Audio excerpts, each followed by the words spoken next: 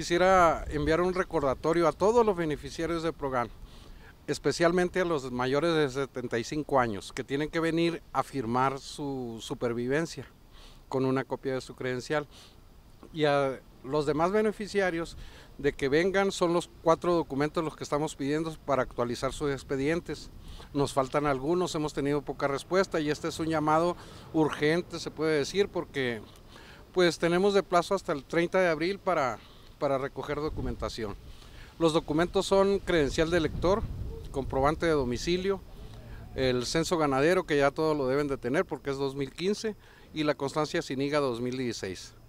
Haciendo la aclaración de que la constancia SINIGA 2016 para los productores de nogales se les entrega en la asociación ganadera.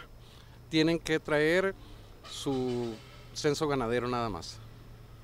¿Cuántas personas están beneficiadas con este programa y, en sí cuál es el porcentaje que todavía queda pendiente o solamente tienen esta semana? Mira, son 89 personas que participan en el programa.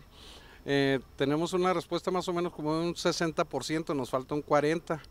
Y en la cuestión de supervivencia tenemos un poquito menos, tenemos un 40% de respuesta y nos falta el 60%. ¿Es el llamado para que se acerquen con ustedes? Sí, lo más rápido que pueda.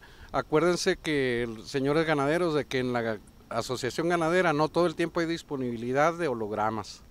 Por eso es urgente que se acerquen, porque si no después van a tener que dar la vuelta hasta Magdalena, la oficina de distrito.